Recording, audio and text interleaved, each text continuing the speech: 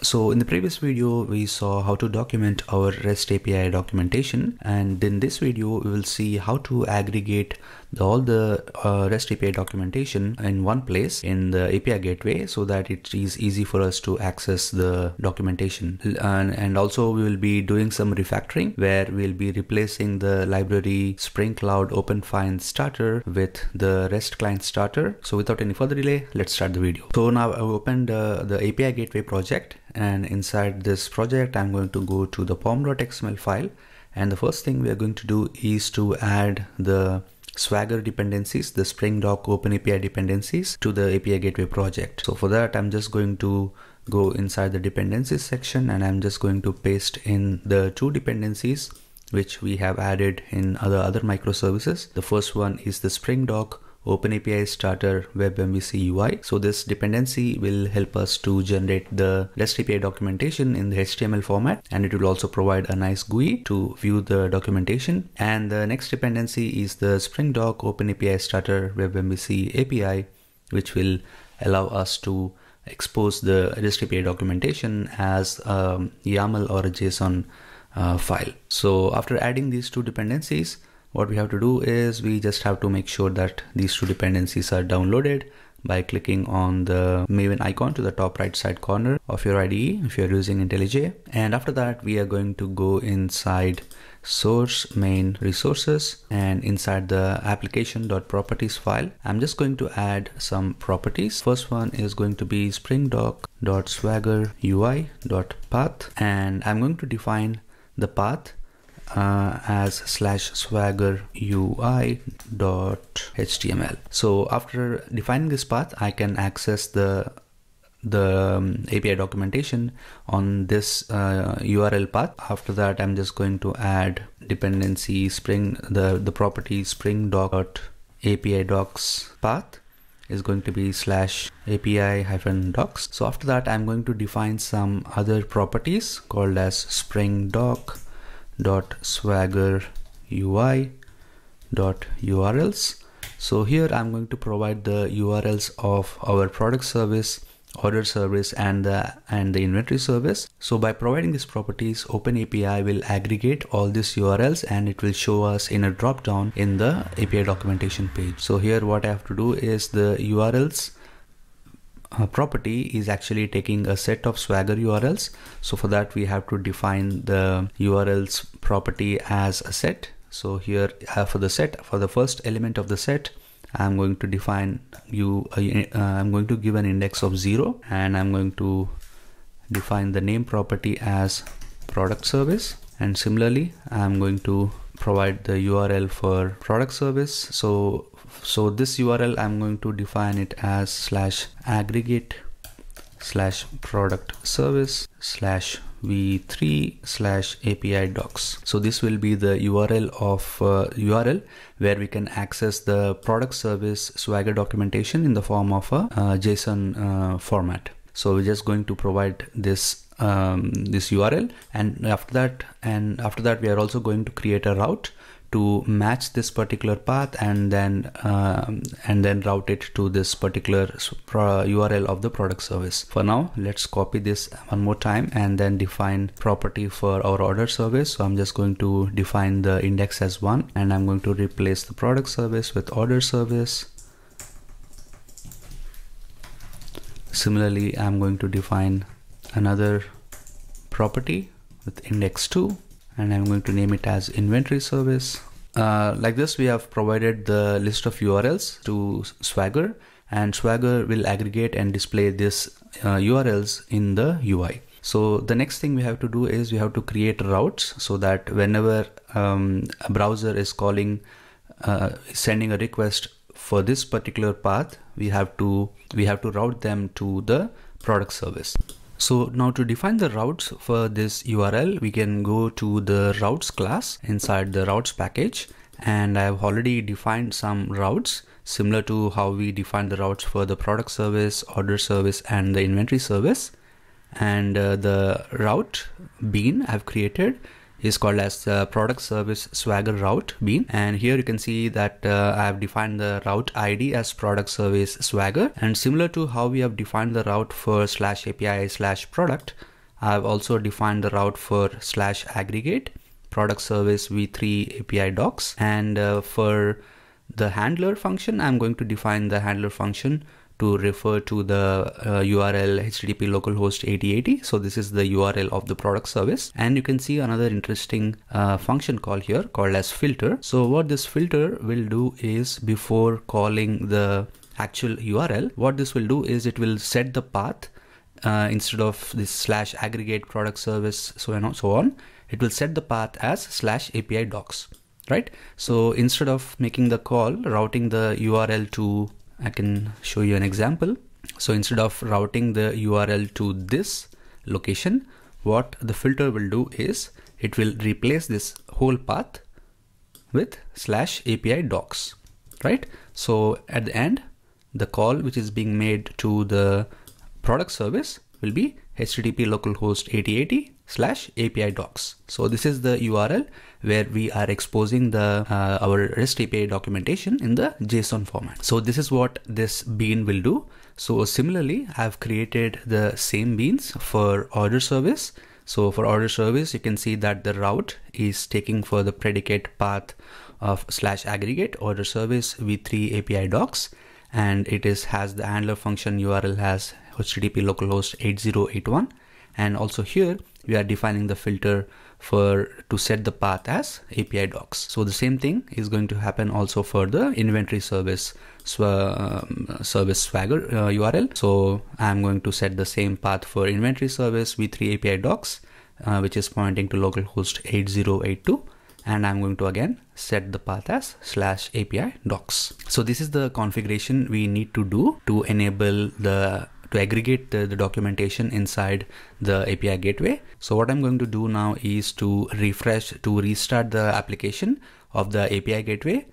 So once the application is uh, uh, restarted, I'm going to open the browser and uh, in the browser, I'm going to open the URL localhost 9000 slash swagger UI dot html and you can see that it is returning us an error 401 because um, if you remember we have defined the security configuration for the API gateway. So if I go to the config security config we have defined the security configuration for our API gateway.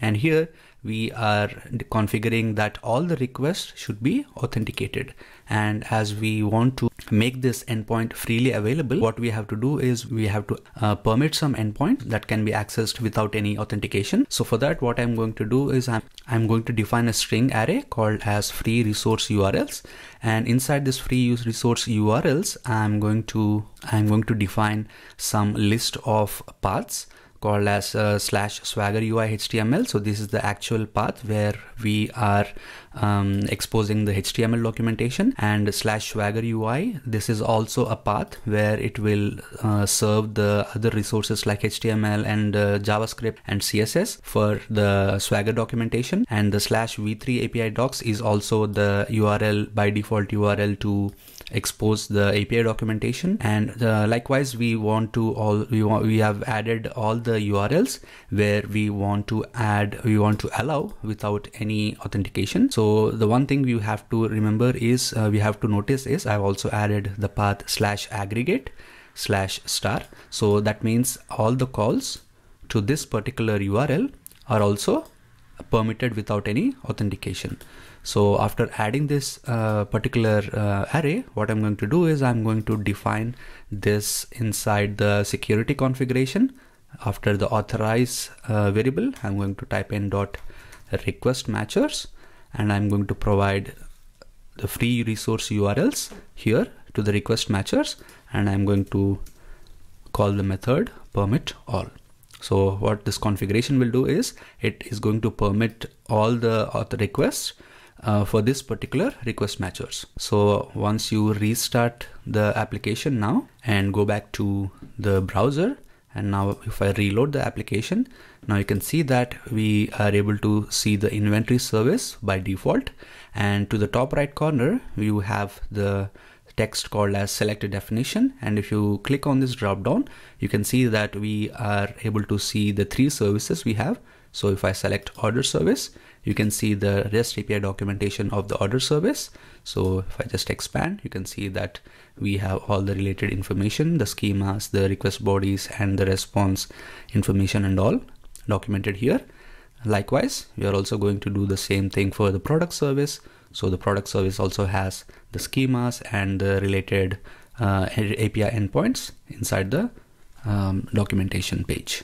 So that is how you are going to aggregate all, all the REST API documentation in the API gateway. And we are also going to do one refactoring now, as I mentioned in the, as I mentioned. So what we are going to do is we are going to replace the Spring Cloud OpenFeign library with the inbuilt REST client. So I had to do this because I realized after releasing the video that uh, Spring Cloud OpenFeign is actually not uh, actively maintained anymore. And if you open the documentation of the Spring Cloud OpenFeign, and if you click on the learn tab and click on this reference documentation right on this first page it says that as announced in spring cloud 2022 we are now treating the spring cloud openfeign project as future complete. We are only going to be adding bug fixes and possibly merging some small community future prs and we suggest migrating over to spring interface clients instead right? So if you go to the spring interface clients what this means is to use this rest client which is coming from the spring boot uh, the, latest spring uh, framework. So this is actually the preferred way to do the inter-service communication in spring boot. So we'll be migrating this our logic to the rest client. So along with the REST client, what we are going to do is we are going to make use of the HTTP interface where we can define the REST calls as a HTTP interface. So this, you can see this documentation that the Spring Framework lets you define a HTTP service as a Java interface with HTTP exchange methods. So this is very similar to what our Spring Cloud OpenFeign client is doing. So instead of, if I go back to the order service, and the inventory client, you can see that we have defined the inventory client and we have annotated this with Feign client annotation and we have defined the request mapping annotation with the request method here, right? So instead of doing that, what we have to do is I can just remove this Feign client annotation and also the request mapping annotation. And if I go back to the documentation, you can see that we can define uh, an annotation called as get exchange. So just you can copy this get exchange and I'm going to paste this here and I'm going to import this class from the web service annotation package and I'm going to and I'm going to provide the path as slash API slash inventory. So that is all you need to do to define the interface HTTP interface and uh, the request parameters and everything is going to be automatically taken care of by the Spring Framework so let's uh, remove this unused annotations here. And uh, another thing so this is the interface we have to define.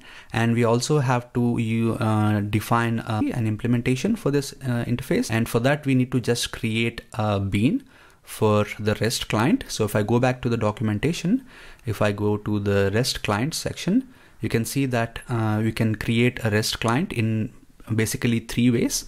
We can use the REST client class, you can use a REST template, you can use a web client. So as of now, the preferred approach is to use REST client because you can also use REST template, but this is not favored anymore because the REST client provides us a much more easier API to write the calls, the REST calls.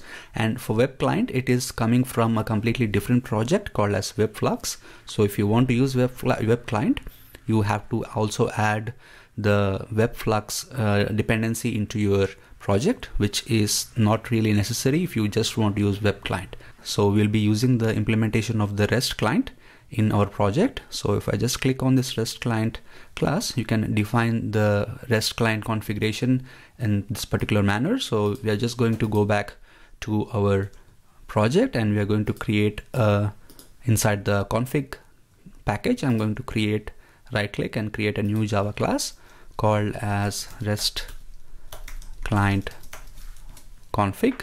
And I'm going to add the configuration annotation on top of this REST client config class. And here I'm going to just paste in one um, method called as inventory client. So I'm going to create a bean for the inventory client method and I'm going to inside this uh, inventory client I'm going to first define the REST client by calling the REST client builder dot base URL and for the base URL we have to pass in the URL of the inventory service. So for you have to create this particular field called as inventory service URL and if I just open the application.properties file here we have the inventory URL inventory service as the inventory.url so what we have to do is we have to add this inventory.url we have to reference this inventory.url inside our REST client config class. So I can do that? By using the value annotation. And here I'm going to provide the inventory.url URL here. So if you just have one, one property to bind to this class, you can use the value annotation or else what you can do is you can also create a configuration properties class. So this is the recommended way to use the configuration properties class. If you have multiple properties, if you want to bind to the class, you have to use the uh, configuration properties uh, option and or else you want to inject into one property value you want to inject into the class you can just use the value annotation here. So after defining this particular inventory service URL variable, what you are doing is we are creating a REST client adapter and we are passing a REST client into this adapter class. And after defining a REST client adapter um, variable, we are providing this into the HTTP service proxy factory and we are going to build a proxy factory and inside this proxy factory we are going to create a client.